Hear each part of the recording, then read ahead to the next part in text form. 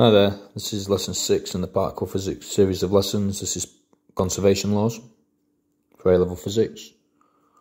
So let's go, particle overview. So there's matter and antimatter. On this left hand side we've got hadrons. Right hand side we've got leptons, fundamental particles.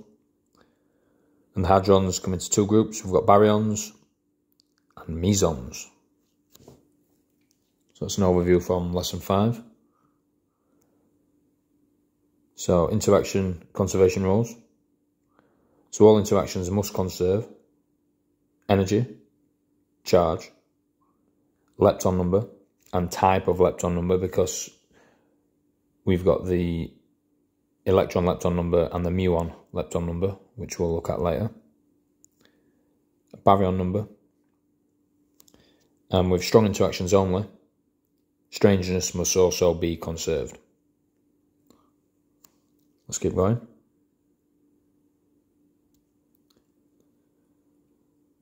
So just some practice. Let's see if we can figure this one out. If you want to pause. A proton and an antiproton, both with 1.5 gigaelectron volts of kinetic energy, make a head-on collision. If the collision only produces k mesons and photons, what is the maximum number of k mesons that could be produced? So you've got the rest energy of a proton of 938 megaelectron volts, and a K meson is about 490 megaelectron volts. So if you want to have a go at this, just pause, and then I'll take you through the answer. So the total energy before the collision is two, two lots of the rest energy, because it's a proton and antiproton, so we've got two lots of the 938. Then we've got to add the 1.5 gigaelectron volts times 2. So 1.5 gigaelectron volts is 1500 MeV. So we've got to add two lots of 1500 MeV, which gives us a total of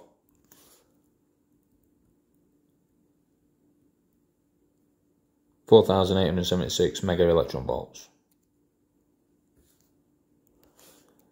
So to get the maximum number of K mesons that could be produced, with their energy of 490 MeV. We just have to do the 4876 MeV and divide by 490, which gives a total of 9.95. But because a whole number can only be formed, that would leave us with 9 K mesons. So the remainder would emerge form of a photon and um, particle kinetic energy. So nine's the answer. Hopefully that went okay. Let's move on. Just a reminder from last lesson. So leptons, electrons, muons and the neutrinos have a lepton number of plus one. Antileptons, positrons, antimuons and their antineutrinos have a lepton number of minus one. And non-leptons obviously have a lepton number of zero.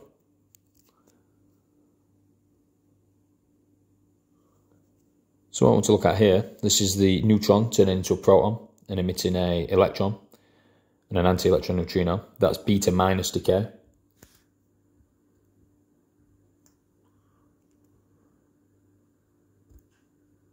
So you should already know that. So beta minus decay. And what I want to do is look at the conservation laws that we can use to show that this is true and that this can happen. So what we can do is look at some conservation. So we'll start with charge. I'll show you some examples of how you might want to do this. So the charge of the neutron is zero. Charge of a proton, plus one. Charge of a electron, minus one. And the anti-electron neutrino has a charge of zero. So that satisfies the conservation of charge because we've got zero on the left-hand side, one minus one is zero on the right-hand side. Let's have a look next at baryon number.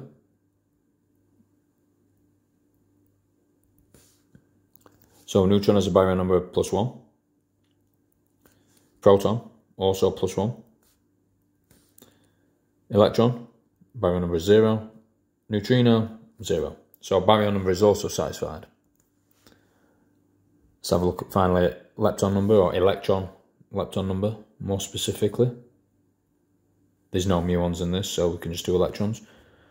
So the neutron, 0. Proton, 0 electron has a lepton number of plus 1 and the antineutrino minus 1. So that gives us 0 on both sides. So that's okay as well. Hopefully that makes sense. Let's look at some more examples. So I'm just going to get rid of this.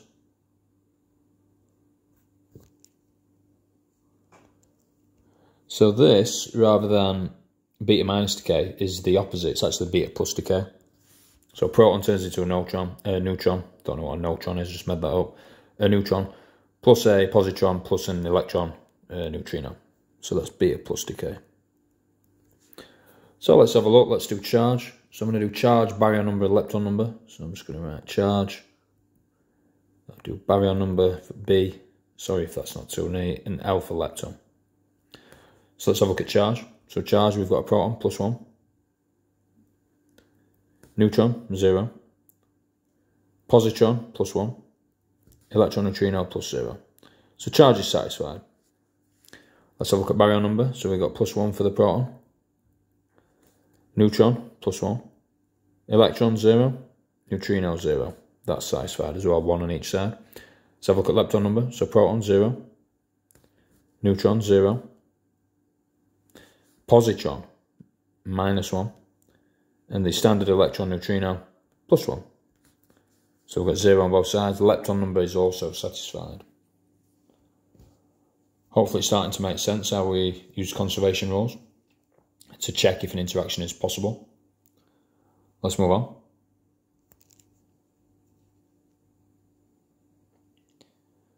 So just a reminder yet again, leptons, lepton number plus one, anti-leptons minus one, non-leptons zero. This holds for the muon leptons as well, essentially, so I'm just going to talk through this at the top.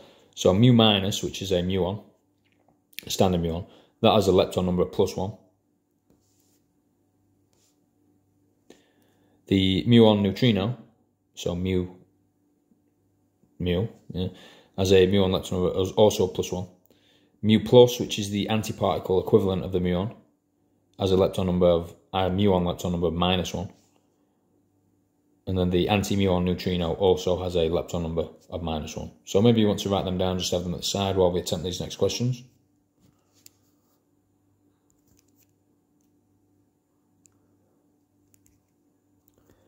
So for these ones, we're going to look at some something different.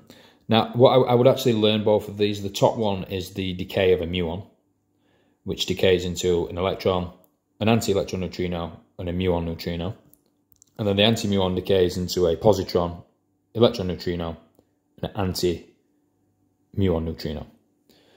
So what, going, what I want to do, I'm going to set this question up so you can have a go at it. I just want to show that this interaction is plausible by looking at charge, just like we did last time. I'm going to look for electron muon number, sorry, elect electron lepton number. All right, electron lepton.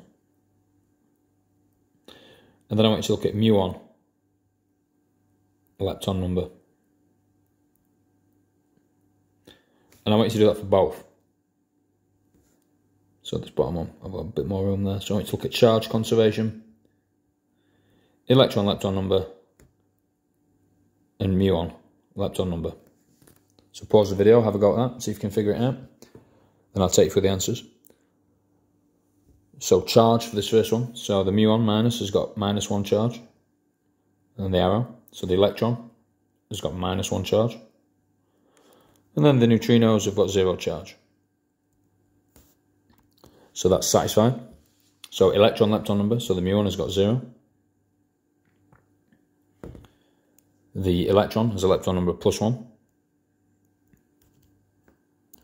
The anti-electron neutrino has lepton number minus 1. And then the muon neutrino has an electron lepton number of 0.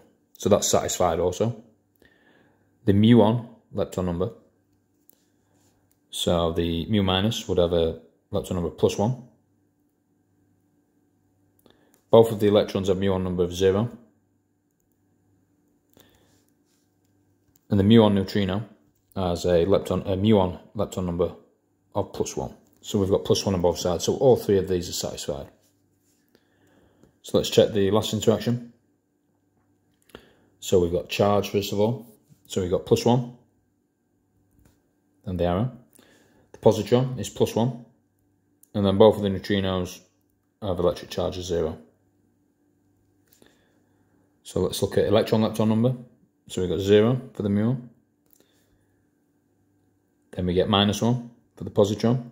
We get plus one for the electron neutrino. And a plus zero for the muon neutrino. So both of those are satisfied. Let's look at muon lepton number. So the anti-muon is a minus one. And then we've got both electrons, which are also zero. And then the anti-muon neutrino has a lepton number of minus one. So that's satisfied as well. So what I would do, that's just practice, you know, for the conservation laws. And then also I'd, I'd learn both of the decays themselves. So they're the decays for muons, or a muon and an anti-muon. Hopefully that's okay. Let's have a look at the next thing.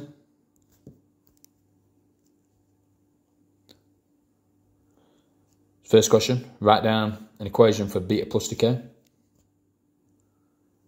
Second question, write down an equation for mu plus decay, which is the anti-muon. And then check if the interaction shown below can occur. So electron neutrino plus a neutron to give a proton plus an electron. So if you want to pause and answer those, I'll take you through the answers. So the beta plus decay, which we've done, hopefully you didn't have to look at your notes, is a proton to a neutron plus the positron plus the electron neutrino. Write down an equation for the anti-muon decay, which we've just done. So the anti-muon, mu plus, decays into a positron, plus an electron neutrino, and an anti-muon neutrino. Don't worry if you haven't got these straight away. Practice, practice, practice you know, you will get better over time. So for this one, I'd look at charge. So charge would be, just write Q there. I'm going to charge baryon and lepton. So the charge is 0 plus 0, and then we get plus 1 minus 1. So that's okay. Baryon number, we get a 0 plus 1. Then we get a plus 1 plus 0. So that's also okay. Lepton number, electron neutrino, plus 1. Plus 0 for the neutron. The protons are 0, the electron is plus 1. So the charge conservation, baryon electron conservation are all suffice. So it's safe to say that that interaction can occur. Let's move on. So I'm going to give a bit of information now, probably need to make some notes. So sigma particles. So that on an exam, well, sigma obviously looks like this, but I've also seen these particles look like this on an exam. So it might be sigma plus, sigma zero. They're the two notations that I've seen used. They all have a strangeness of minus one and a baryon number of plus one. So if you want to write these down, so sigma plus, there's a charge of plus one then a strangeness of minus 1 and a baryon number of plus 1. Sigma 0, baryon number plus 1, strangeness minus 1, charge is 0. And then sigma, sigma minus, which again, baryon number plus 1, strangeness of minus 1, and a charge of minus 1. So like all baryons, they eventually decay into protons. So we're going to use some of these in the next questions. Let's have a look. Make some notes. Let's move on.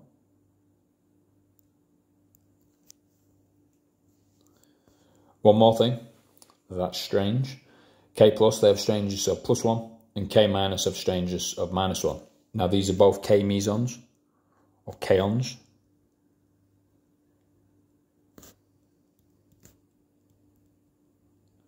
So the K plus, strangeness plus 1, K minus, strangeness minus 1, which is important when we do our conservation, conservation rules. So let's move on. Conservation strangeness. Strangeness is always conserved in all strong inter interactions. That's when there's no leptons involved. Strangeness is not always conserved in weak interactions. This one can come up uh, in exam questions. So they will ask if something can occur and you can check the strangeness, but if you don't realise that it's, you know, that it's a weak interaction, then you might get it wrong if you say that strangeness is conserved. So look at this one. So pi plus plus a proton to give sigma plus plus k plus. So let's check strangeness. So pi plus, pion, uh, zero strangeness, plus zero for the proton. Sigma plus, if you remember, we just did that. That's got strangeness. They've all got strangeness in minus one.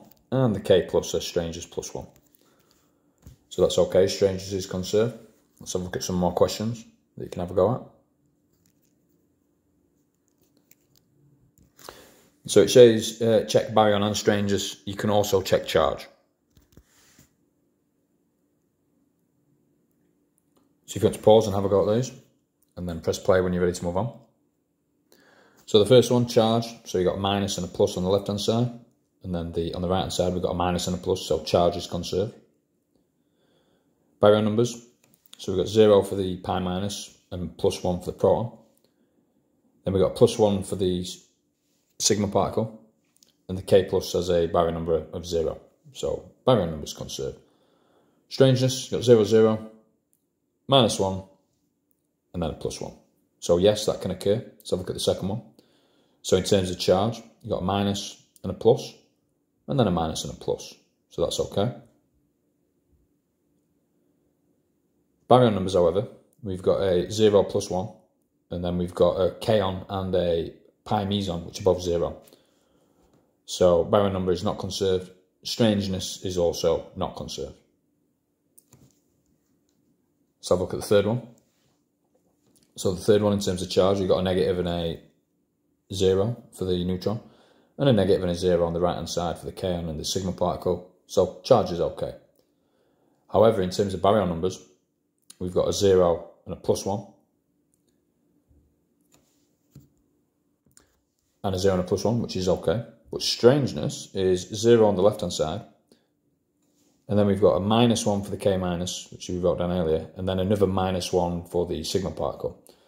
So strangeness is 0 on the left hand side, minus 2 on the right hand side. So that cannot occur. So look at the next ones. A few more questions. So some further interactions to check. So if you want to pause and have a go at these.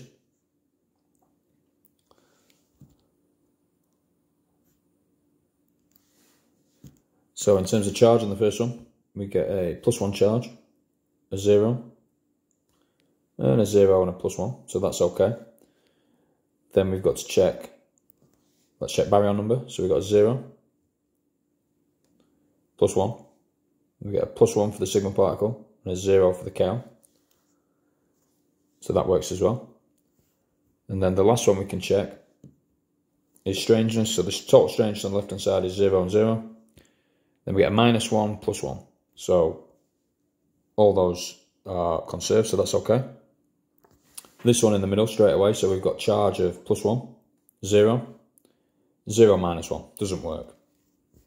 So while this one's a yes, this one doesn't work, this is no. The bottom one, let's check charge first. So we've got a minus one and a plus one. Minus one, plus one. And then we get a plus one, minus one on the antiproton. And then zero and zero for the neutrinos. So charge is okay. Then let's look at baryon number.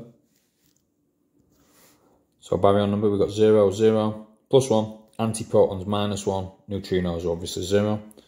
So that's okay. And then electron lepton number.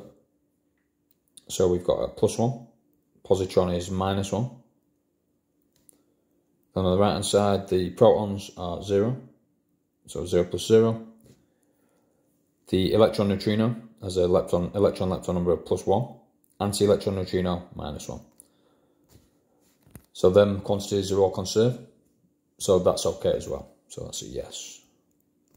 Hopefully that's helped.